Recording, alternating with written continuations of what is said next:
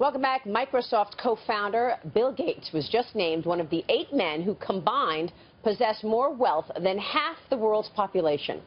Last week, I sat down with him for a wide-ranging interview. We talked Donald Trump, the responsibilities of social media companies. But first, Gates told me about his Gates Foundation new global initiative to prevent epidemics. A number of countries and foundations are coming together uh, to look at making vaccines in advance of an epidemic uh, so that we can have platforms that are very quick to make new vaccines. And so we're far more ready than we were when the Ebola epidemic hit. And so that's a, a big contribution. It's a response to the fact that the vaccine didn't get done for Ebola until after the epidemic was gone. Yeah, and when we think about Ebola or even the Zika uh, virus, that, uh, of course, was a huge surprise, we learned that preparedness was really so critical as it relates to uh, stopping the spread. How will this uh, program stop that and help in terms of the preparedness? Talk to us about what this is in terms of a public-private partnership. How is it going to be put together?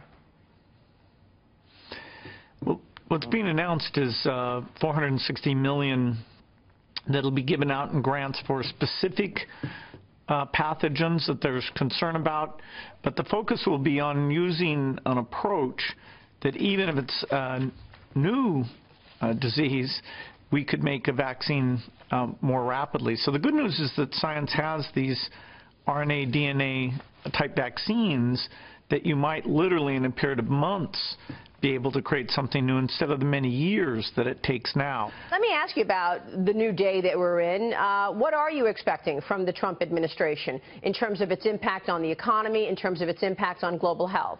Well, I don't have a, a crystal ball. Uh, obviously, you know, we've got new people, uh, the opportunity to talk about U.S. leadership, what's gone on where the U.S. Uh, supported the Global Fund, it supported uh, the Gavi Fund for Vaccines, you know, how we continue uh, that type of outreach and how it helps our security that we're helping those countries both be healthy and be stable uh, there'll, there'll, be some great conversations and, you know, hopefully some ideas about new investments that can be made here. Look, here we are on the eve of the inauguration, Bill, and we're looking at a completely new approach to so many of the most important issues that, that the world faces.